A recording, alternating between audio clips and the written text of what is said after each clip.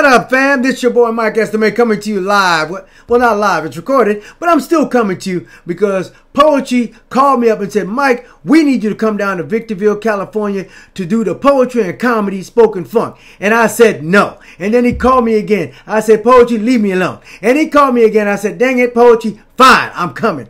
But for real, I am coming, looking forward to it. Victorville, California. If you're in the Victorville area, please come out and check out the funk Comedy 4. That's myself. That's Brett Riley. That's Matt Sedillo. And that's Brandon Allen coming to you with clean comedy, coming to you some great poetry. Please come out and support your boy and support poetry. Appreciate y'all. Peace.